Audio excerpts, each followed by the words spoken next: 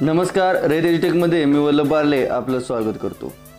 विज्ञान आणि तंत्रज्ञान या विषयामध्ये जर तुम्हाला नववी किंवा दहावीमध्ये जर तुम्हाला शंभरपैकी शंभर गुण मिळवायचे असतील तर या बाबींचा तुम्हाला नक्कीच विचार करावा लागेल. जे काही पायाभूत बेसिक घटक असतात यांचा देखील विचार करणं गरजेचं आहे. येता नववीतील जे काही आकृती असतील त्याचे अल्गोरिदम असतील तुम्हाला माहिती आहे का? जर आठवून पहा. या संदर्भामधील या ठिकाणी जे काही मेन्शन केलेले मुद्दे आहेत यानुसार तुम्हाला याची तयारी करून घेणं गरजेचं आहे. करून पहा शोध शोध घ्या निरीक्षण व चर्चा करा ओक तक्ता पूर्ण करा. इंटरनेट ब्लॉग मित्र. आणि इयत्ता दहावीसाठी खास बालभारतीचे नमुना कृतीपत्रिका आणि कृतीपत्रिकेचे तीन सेट वेबसाईटवरती उपलब्ध आहे. आणि सर्वात महत्त्वाचं म्हणजे तुमच्याकडं जी प्रयोगशाळा आहे आपली बालभारतीची विज्ञानची. या विज्ञानची प्रात्यक्षिक जी काही वही आहे यामध्ये एम सी क्यू रिकाम्या जागा ह्या दिलेल्या आहेत. हे सर्व घटक तुम्हाला शंभरपैकी शंभर गुण मिळवून देतील. आणि ही शंभर टक्के खात्री आहे. यामध्ये तुम्हाला ऐंशी ते नव्वद गुण आतापर्यंत केलेल्या अभ्यासावर पडत असतील असं जर गृहीत धरलं तर तुम्हाला दहा ते वीस गुणांची या वरील घटकावर जर तुम्ही व्यवस्थित तयारी केली हे घटक समजून घेतले तर तुम्हाला नक्कीच शंभरपैकी शंभर तुम्हाला गुण पाडायला काही अडचण नाही. आणि ज्या विद्यार्थ्यांना अभ्यासाची अजून दिशा सापडत नाही त्यांच्यासाठी विज्ञान विषयातील अतिशय महत्त्वाचे जे काही मुद्दे दिलेले आहेत की तुम्ही या ठिकाणी कोणत्या भागावरती जास्त तुम्ही कॉन्सन्ट्रेशन करू शकताय आणि तुम्हाला कशा पद्धतीने तुम्हाला कमी दिवसामध्ये आता जास्त तुम्हाला मार्क मिळू शकतील. तर विज्ञान व तंत्रज्ञान भाग एक या विषयामधले असणारे महत्त्वाचे मुद्दे की जे परीक्षेला नक्की येऊ शकतात. न्यूटनचा गुरुत्वाकर्षणाचा सिद्धांत केपलरच्या गतीचे नियम असतील वजन व वस्तुमान यातील फरक. पान क्रमांक चौदा स्वाध्यायातील पहिला प्रश्न अठ्ठावीस पानावरला तिसरा प्रश्न आणि एकोणतीस पानावर स्वाध्यायामधील पाचवा प्रश्न. या म या पद्धतीने तुम्ही या ठिकाणी तुमचं पुस्तक घेऊन तुम्ही चेक करू शकता की हे महत्त्वाचे प्रश्न तुम्हाला दिलेले आहेत. याची तुम्ही जरी केवळ तयार केली तर तुम्ही नक्कीच सत्तर सत्तर टक्केच्या वर तुम्ही सहजपणे विज्ञान विषयामध्ये तुम्ही मार्क मिळवू शकता. जर आत्तापासून जरी तयारी केली तरी देखील. निष्क्रिय वायूंची नावे असतील भौतिक रासायनिक बदलाची उदाहरणे असतील अपघटन अभिक्रिया या रासायनिक अभिक्रियेचे जे काय प्रकार आहेत आणि हे रासायनिक अभिक्रियेच्या दरावर परिणाम करणारे घटक कोणते? एकूण सहा सात घटक आहेत. याची देखील तुम्हाला कृती विचारली जाऊ शकते. कृती पूर्ण करा.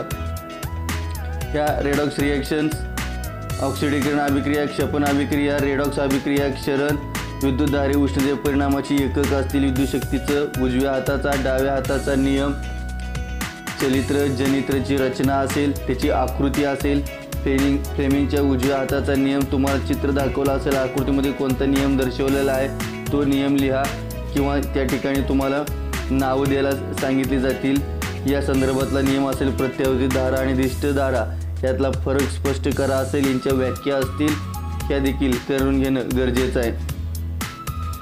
याशिवाय परत विद्युत जनितर ही पुनर्हिमायन ही टीप लिहिण्यासाठी शंभर टक्के ही महत्त्वाची आहे. पाण्याचे असंगत आचरण होपचे उपर विशिष्ट उष्माधारकता प्रकाशाचे अपवर्तन वेगवेगळ्या माध्यमातून होणारं प्रकाशाचं कशा पद्धतीनं अपवर्तन होतं त्याची जी काही उदाहरणे आहेत तार ताऱ्यांचे लुकलुकणे इंद्रधनुष्य निर्मिती असेल मानवी डोळा लघुदृष्टिता दूरदृष्टिता आंतरगोल भिंगाचे उपयोग आणि पान नंबर ब्याण्णववरील स्वाध्यायामधले पहिला चौथा सहावा आणि सातवा हे प्रश्न देखील खूप महत्त्वाचे आहेत.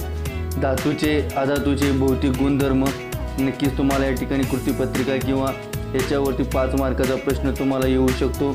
धातूची क्रियाशीलता श्रेणी कशा पद्धतीने धातू क्रियाशीलतेचा जो क्रम आहे तो क्रम तुम्हाला माहिती असणं आवश्यक आहे. अशा पद्धतीने या ठिकाणी तुम्हाला दिलेले आहेत. आणि या ठिकाणी प्रोपेनचं रचनासूत्र हं? मिथेन प्रोपेन ब्युटेन हे अगदी तुम्हाला तोंडपाठ असलं पाहिजे. तुम्हाला त्याच्या रचना देखील तुम्हाला करता आले पाहिजे. हे महत्त्वाचे क्वेश्चन्स या ठिकाणी आहे चेलो फाय एच हे रेणूसूत्र असलेली कोणतीही तीन प्रकारची आपण रचनासूत्र कशा पद्धतीने काढू शकतो त्या संदर्भामध्ये असा प्रश्न विचारला जाईल. आणि जर तुम्हाला इन जनरल सोशल असा जर क्वेश्चन विचारला तर अवकाश मोहिमाची आज गरज काय आहे? त्याचं महत्त्व काय आहे? या घटकावरही देखील तुम्हाला विचारले जाऊ शकतात. कृत्रिम उपग्रह उपग्रहाच्या भ्रमणकक्षा आहेत इस्रोने बनलेले पी एस एल व्ही असेल. याचा बाह्य आराखडा असेल. यातील काय घटकावर स्वाध्यायावरील असणारे जे काही प्रश्न आहेत हे तुम्ही पहा. या ठिकाणी बघा आणि तयारी करायची तयारी करा. तर या उपग्रहाचे प्रकार आणि त्यांचे कार्य ह्या देखील अतिशय आपल्याला महत्त्वाचं आहे. जनरल क्वेश्चन तुम्हाला याच्यामध्ये विचारला जातो.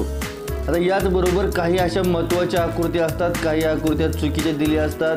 काहीचं या ठिकाणी दिशा बदललेली असते तर काही आकृतीला नावं दिली नसते. त्या आकृत्या पूर्ण करा असं म्हटलेलं आहे. तर या ठिकाणच्या ह्या ज्या काही आकृती आहेत ह्या आकृत्यांची देखील तुम्ही चांगल्या प्रकारे तुम्ही सराव करू शकता. त्याचा व्यवस्थित त्याचे जे काय नाव वगैरे जे नामनिर्देशित आकृती आहे त्याच्या दिशा कोणत्या आहेत त्याच्या प्रत्येक भागाची नावं काय आहेत या सर्व घटकांची माहिती तुम्हाला असणं आवश्यक आहे. याचबरोबर आणखी या ठिकाणी काही महत्त्वाच्या त्या अशा पद्धतीच्या या आकृतीमध्ये काय दर्शवलेलं आहे? तुम्हाला असे तीन लोखंडाचे गोळे आहेत तीन वेगळ्या प्रकारे धातूचे गोळे आहेत मेणाच्या लादीवरती ठेवलेली आहेत. ही उष्ण गरम केलेली आहे तर प्रत्येक गोळा किती खाली जाईल का जाईल तिचं कारण काय आहे? अशा पद्धतीचं एकाच्या झेपेतून प्रकाशाचं परावर्तन होणं हे रेनबोचे वगैरे हे सर्व गोष्टी तुम्हाला अतिशय महत्त्वाचं आहे. डोळ्याची रचना असेल ही याच पद्धतीने तुम्हाला या ठिकाणी याचं रेखाकृती दिलेली आहे. याच्यावरून कोणता दोष आहे तो कोणता दोष नाही आहे ते ओळखणं. या अशा काही ज्या काही ठराविक अशा महत्त्वाच्या आकृत्या आहेत ह्या आकृत्या देखील तुम्हाला याची तयारी करणे याची नावे वगैरे प्रत्येक भागाचं माहिती असणं आवश्यक आहे.